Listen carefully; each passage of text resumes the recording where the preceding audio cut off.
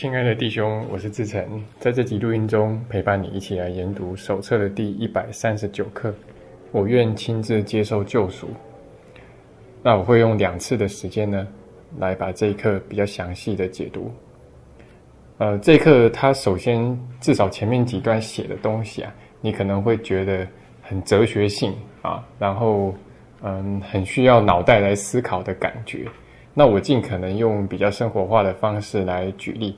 看看我们有没有办法把这一课，呃，弄通啊？其实这一课的讯息也是很重要的哈。大概一百三十几课，这这几课全部都是五颗星以上的哈。好，他的第一段呢就讲到这个，他说中间哈，人生的一切疑虑莫不源自于此。好，就是说不晓得自己的本来真相。好，那么世间的一切疑问也不过源自于此。啊，所有的矛盾跟冲突，你遇到的都源自于此，就是我究竟是什么？啊，那么在这个宗教或灵性的体系里面，一般大家喜欢讲的是我是谁？啊，那就有一些所谓大师，然后他们教学生的方式就是不断的问他说你是谁？啊，但是你看奇迹课人在这边的措辞，好，还有在其他像正文，还有在练习手册最后面，我们还会遇到这个问题，哈，我究竟是什么？他的措辞是“我是什么”，而不是“我是谁”。啊，那其实奇一个人的措辞不得不说还是比较精准的，因为“我是谁”这个“谁”里面有一个人字旁，啊，也就是说，你问我是谁的时候，是已经预设了你是一个人。但是如果我是什么的时候，这个 “what” 是没有任何预设，这个 “who” 就是预设你是一个人格嘛，那么 “what” 是没有任何预设的。OK，那这个才会符合真相，因为我们的真相并不是一个人类啊。首先，我们必须要弄清楚这个，然后再来就是为什么所有的矛盾跟冲突都是指向这个问题？因为你会发现，所有这些关于信念啊、意义跟价值的这些冲突啊，其实都是从我们自我的角度出发的。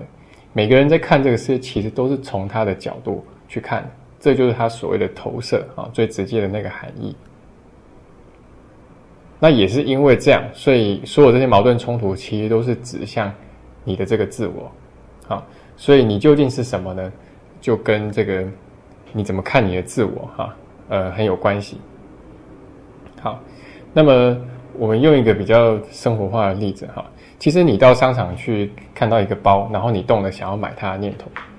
的时候，其实你就不知道你是谁了。呃，据我的观察了，包括我自己的自我觉察吧，就是很少有人是看到一个心动想要买的东西，就毫不犹豫，就是掏出钱包直接付账就直接买了啊，然后没有任何一点点的犹豫，或者是呃可能会后悔的那种情绪啊。通常我们都会思考一下，甚至会挣扎好一阵子，然后才会下手买这个包。那好，所以现在呢，你会发现你的。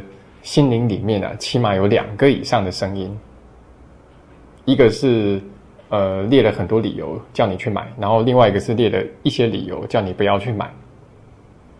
那请问哪一个声音是你呢？也就是说，我们其实很难找到一个整真正是整合起来的自我。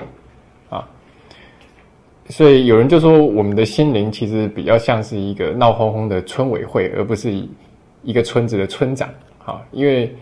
呃，村委会就是七嘴七嘴八舌嘛，哈，各说各话嘛，啊，这比较像是我们这个小我的小我的头脑那个实际的情况啊。那这个就是出现那个冲突矛盾，而且你看不到有一个真正的统一的一致的一个自我。那这个是我们陷入小我的状态的时候，呃，我们其实会陷入这个不晓得自己到底是什么的那个状态。好，那第二段他接着说哈，提出这个问题的人表示他已经拒绝认识自己了。好，那正因为他拒绝接受自己的真相，才使他提的这个问题显得非常真诚。也就是说，理论上你不应该不知道你是谁呀。好，你不应该不知道你是什么啊。啊，怎么会有这种困境呢？这不是很奇怪吗？每个人不是最应该知道的、最了解的就是他自己嘛。好，但是我们好像常常是。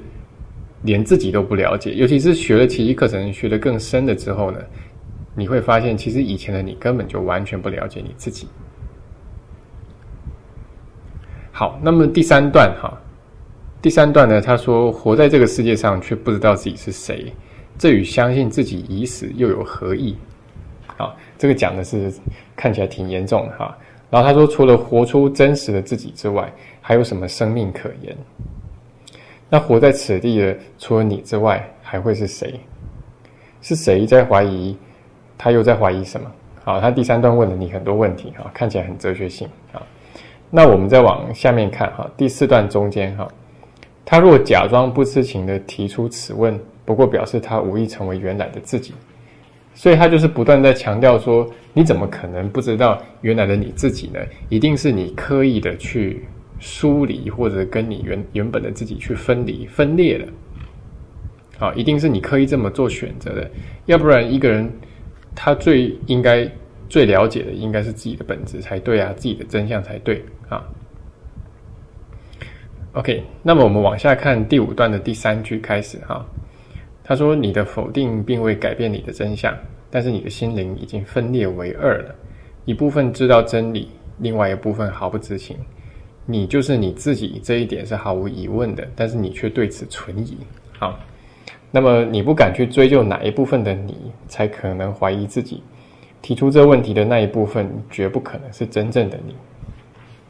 OK，所以会提出我是谁的这一个，一定是小我提出的。”因为在这个圣灵的思维里面，他是很确定你的真相啊，你的实相是什么的，所以这个问题一定是小我提出的。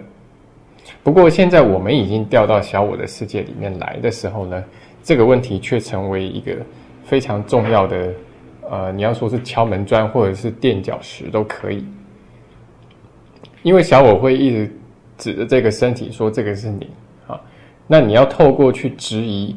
到底你是谁，或者你是什么，来跳脱出小我的这些呃扭曲的自见啊？所以反而你有这种很深层次的呃看起来是很存在主义哲学的一些怀疑的这个呢啊，反而会能够帮你从小我的境界跳脱出来。OK，所以提出这个问题的是小我啊，那么这个是你心灵分裂为二的其中一部分，然后另外一部分。是属于你的灵性啊，你的实相呃，圣灵的那一部分。那这部分是很确定知道，呃，真实的你并不是这具身体，好，也不是这个自我。好，然后下面这个第六段呢，他说救赎就是为了治疗人是可能怀疑自己，而且无法肯定自己的这种很怪异的心态。好，那他说这个是其实是一种疯狂哈。然而这个问题就成了普世的人生大问啊，就是要确定自己到底是谁是非常困难的一件事情啊。那当我们看着小时候的这个相片的时候，我们毫不犹豫觉得那个是我啊。可实际上小时候，譬如说五岁时候的你跟现在时候的你，不管是在身形啊、长相啊，然后在想法、观念、做事的心态上面，都差异这么大，那个怎么会是你呢？我们有没有想过这个问题？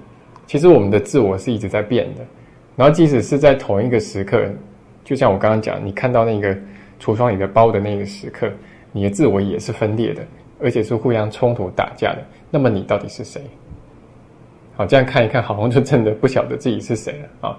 实际上，这个也是千百年来的哲学家这些最聪明的头脑努力的、不断的在讨论的问题，就是这个自我到底是什么东西？人类到底是什么？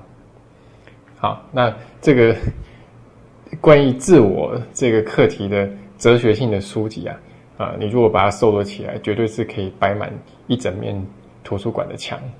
好，但是你把那些哲学的东西通读了之后啊，你可能还是会觉得哲学家们也是很分裂的，各说各话。然后读完之后，还是觉得非常疑惑，这个自我到底是什么？OK，好，这个是我们今天是。